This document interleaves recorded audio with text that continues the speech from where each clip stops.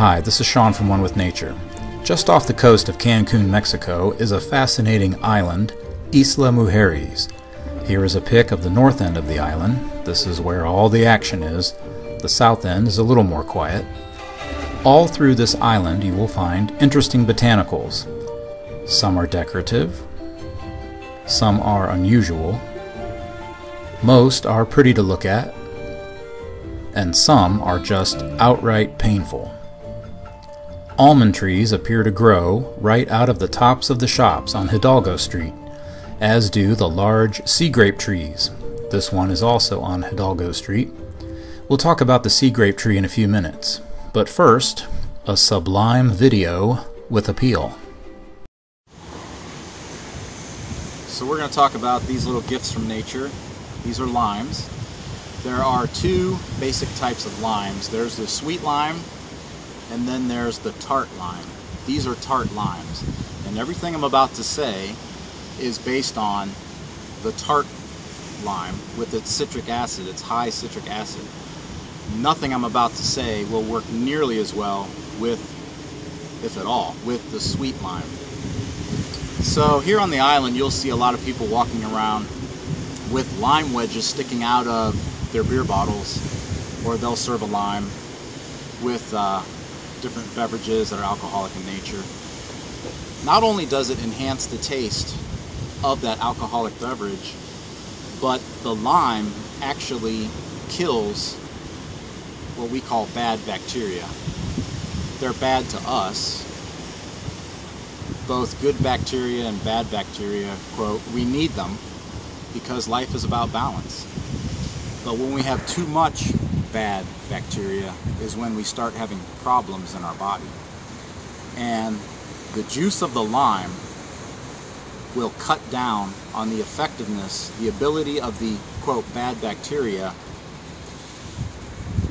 to cause us distress or harm us.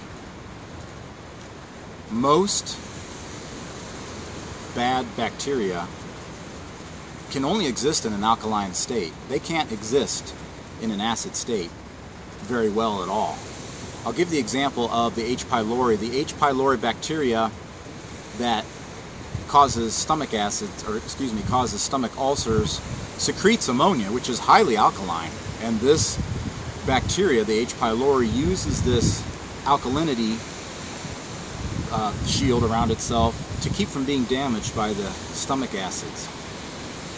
And we can use the same principle by using the lime the lime will go in, even if you have a case of food poisoning, the lime juice can go in and it'll actually start killing those bad bacteria in the food that you ate.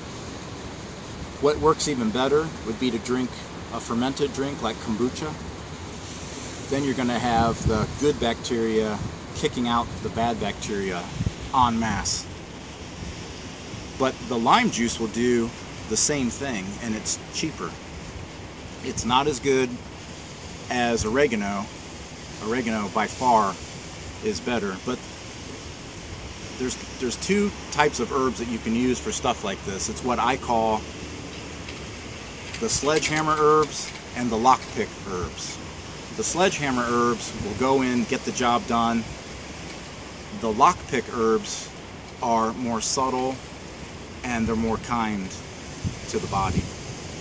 An example of a sledgehammer herb would be graviola. Graviola is a great antibacterial, but graviola will also take out the bad, the good beneficial bacteria in your GI tract, and then you have to repopulate. The lime, on the other hand, you don't have to worry about it taking out huge amounts of your good bacteria that you spent a lot of time building up over your life. I'll give the example of if you have a house and your front door is locked, you've lost the key, you can't get in. Well, you can use a sledgehammer, that'll open the door, right? But it'll also damage your front door. You're going to have to replace it or repair it. A lock pick, you get a guy that can pick the lock, goes in, opens the lock, maybe scratches the outside of that doorknob, but the door opens and there's no damage to it. Well, that front door is your body. And depending on what herb you use, you can use some really hostile herbs like Oregon grape root or golden seal, which will go through the body and also wipe out good bacteria. We don't want that. We don't we don't need to use those. There are other alternatives. So I remember reading a book online. It was on Google Books. I'll put it in the item description below. It was from 1811, and the author was talking about using limes to help people with opiate addiction. Now, this book was printed in 1811, and it wasn't until 1812 that morphine came on the scene, and it was named after Morpheus, the guy from the Matrix movies. It was named after the Greek god of dreaming. So, in 1811, before morphine really came on the scene strong, they were talking about using lemon juice to help people overcome addictions to opiates. You would take large amounts of lime juice and it would counteract the effects, in this author's opinion. So, very inexpensive, very easy to obtain, antibacterial. Again, most bad bacteria thrive in an alkaline environment, not an acid environment. A lot of people try and change the pH of their tissues or their blood. They want to alkalinize their body but you can't. You cannot change the pH of the blood or the pH of the tissues without seriously hurting your body's ability to keep you healthy. Because if you're chugging large amounts of alkaline water into your stomach, you're going to weaken your stomach acid and it's going to make you more prone to the effects of bad bacteria. That's the firewall of our body our stomach acid goes to work and wipes out these invaders. And then the good bacteria in the rest of the GI tract takes care of what that missed, what the stomach acid missed. So, just a little tip for you. The common lime, easily available, very popular here. We're down in Mexico. We're on an island off the coast of Mexico, but very popular down here. It's everywhere. And when I go into the restaurants here and I'm about to eat a meal, I ask the waiter, I say, could you please bring a little bowl of limes? And he does, and we all sit there and we squeeze the lime into our water or onto our food. There was a study done in Africa where people were using uh, lime juice to defeat cholera. And in the rainy season, you're going to see a lot more cholera. A lot more people get sick during the rainy season from cholera because it thrives in that environment. And this study showed that when people would take lemon or lime and they would squeeze it onto their meal and then eat the meal, they were less prone to becoming sick from cholera. Again, it's because of the citric acid in the lime that destroys these bad bacteria, the bacteria you do not want in your body in huge amounts. So, just a couple tips there we're talking about this little lime right here that does so much. Another gift from nature. You've probably heard that acids are bad and alkalinity is good, and that acids lead to premature aging and death. You may have even been told that disease cannot live in an alkaline environment. I'm sorry to tell you that nothing could be further from the truth. Most pathogenic bacteria prefer an alkaline environment. The citric acid in limes can provide intestinal relief, protecting you against pathogenic bacteria in the stomach and GI tract when nothing else is available.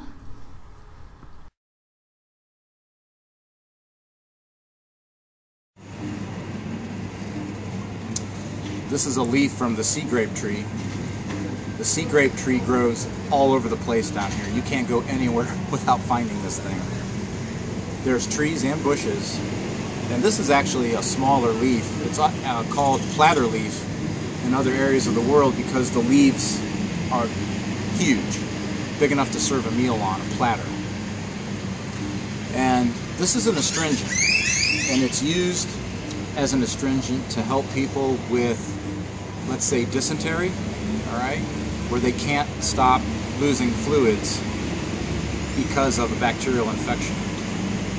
So, other famous astringents would be white oak bark, red raspberry, schizandra is an astringent, and it's used the leaf, the grapes.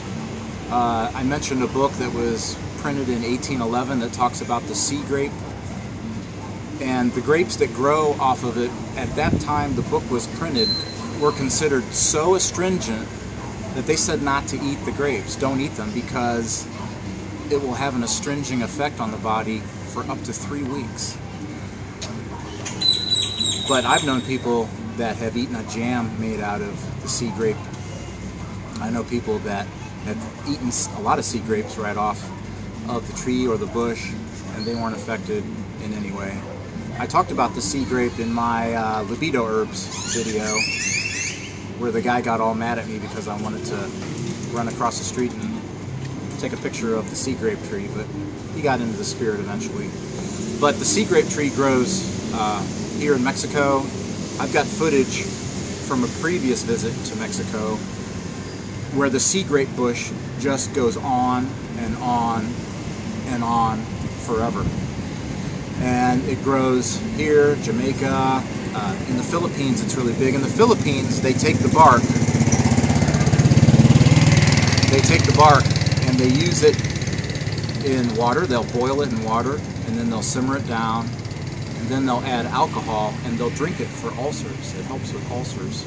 So ulcers, but dysentery especially, you can go online, you can find all kinds of different uses for the sea grape. The leaf, the bark, the root, and the grape itself. But the chief interest that I have in this plant and tree is because of its use for dysentery. And dysentery kills a lot of people every year.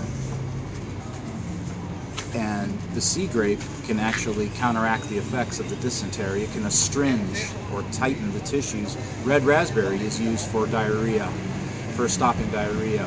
And there's a point where the diarrhea just isn't useful anymore.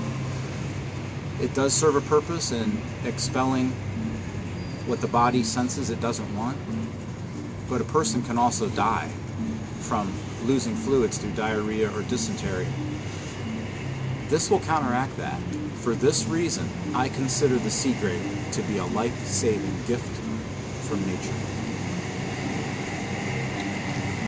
The sea grape tree grows like crazy in Cancun. You will often see people waiting at bus stops and they stand under these large sea grape trees because the trees have these abundant, thick leaves and they're seeking shelter from the intense Mexican sun.